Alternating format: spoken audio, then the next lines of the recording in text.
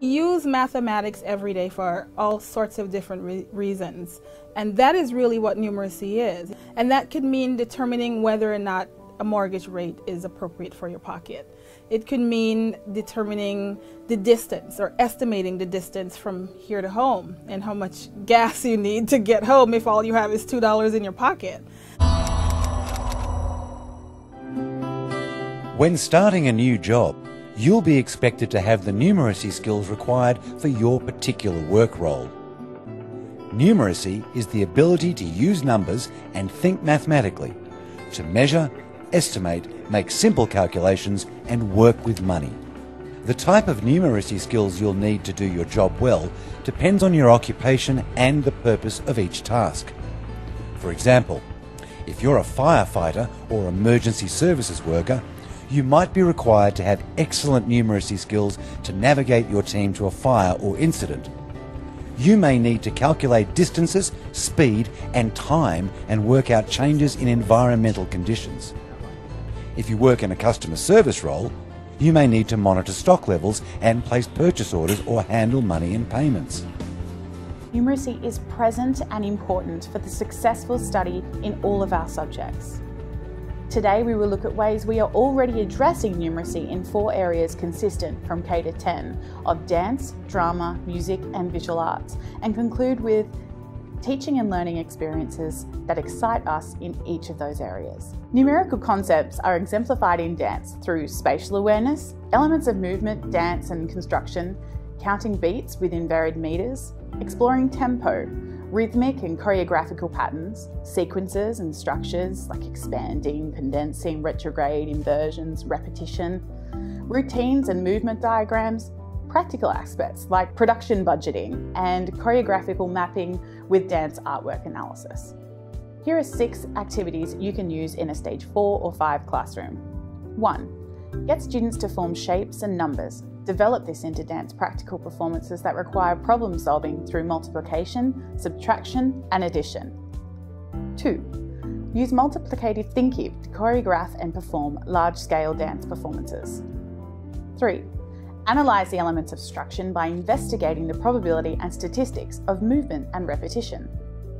Drama and numeracy complement each other so frequently and so cleverly that students are often unaware that they are performing mathematical thinking while completing drama. We explore numeracy when looking at space and shape awareness, direction, the elements of drama, sequencing and structure, size planes, movement pathways, probability, proxemics, budgeting, the elements of production, set design, given circumstances of characters, and dramatic forms. Some stage 4 and 5 learning activities for drama could be 1 physical warm ups and cool downs requiring movements specifically related to numbered groups and money. 2. Explore the different theatre stages such as proscenium arch, a thrust, and look at how various performances could be performed with the pros and cons for the sets, the acoustics, the space, and block and work scenes within these spaces. 3. Create timelines for characters or passages of time to explore the recording, measuring, and passage of duration within a play. 4. Estimate data and add and create diagrams exploring the probability of characters' storylines and given circumstances. 5. Data analysis and management of production budgets, estimates, and proportional reasoning for elements of the production. And 6. Improvisation games that allow students to experiment with time allocations, estimate, and adjust performances without preparation time and to time restrictions. Music and numeracy are very closely related. When studying music in stages 4 and 5, we look at speech, chants and songs, counting beats, rhythm patterns, musical concepts, duration such as beat, rhythm, meter, tempo, dynamics, structure, symbol, graphic notation, groupings, accents, meters, traditional notation, patterns and sequences, pitch, harmony, tonality, motifs, time, patterns, improvisation, musical history, performance, oral, and ICT. Six tasks or activities you could use in your stage 4 or 5 music classroom. 1. Simple equations through graphic music and notation. 2. Create graphical representations of the line of pitch. 3. Justify and explore the duration and time between different units of notation. 4. Explore the difference in measurement between large scale and small scale size instruments and their tone pitch or tone colour. 5. Listening, responding, and arranging pieces using addition and subtraction of various instruments.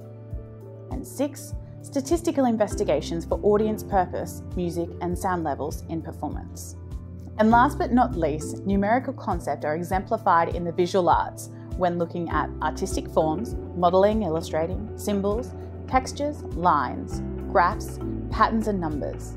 Artistic techniques to investigate and create, such as shapes, perspectives, volume, mass, dimension, solids, voids, 2D, 3D, fractions, decimals, patterns, percentages, symbol, money, ratios, angles, proportional reasoning, Pythagoras theorem, areas of a shape, colour, estimate, and materials. Six tasks or activities you could use in your visual arts classroom could be 1. Predict higher terms of patterns by increasing picture sizes by 2, 4, 20, etc. 2. Estimate on how much colour is required for what combination, then solve through applying the mathematical technique. 3.